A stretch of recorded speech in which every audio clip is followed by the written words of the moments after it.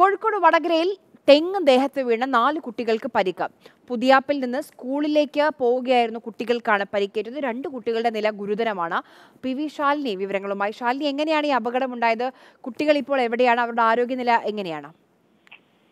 രണ്ട് കുട്ടികളെയാണ് പരിക്കേറ്റ് കോഴിക്കോട് മെഡിക്കൽ കോളേജ് ആശുപത്രിയിലേക്ക് കൊണ്ടുവന്നത്. അവരുടെ പരിക്ക് പക്ഷേ വളരെ സാരമുള്ളതല്ല എന്നാണ് പ്രാഥമിക വിവരം. എങ്കിലും അവിടെ റെഫറൻസ് ആയി ഇങ്ങോട്ടേക്ക് പറഞ്ഞയക്കുകയായിരുന്നു. മറ്റു രണ്ട് കുട്ടികൾ പ്രാഥമിക ശുശ്രൂഷ നൽകി വീട്ടിലേക്ക് പറഞ്ഞയക്കുകയും ചെയ്തു. നാലു പേരാണ് ഈ തെങ്ങ് കടപുഴകി വീടുന്നതിനിടെ അതിൽ അതിന്റെ അടിയിൽപ്പെട്ട് അപകടത്തിലായത്.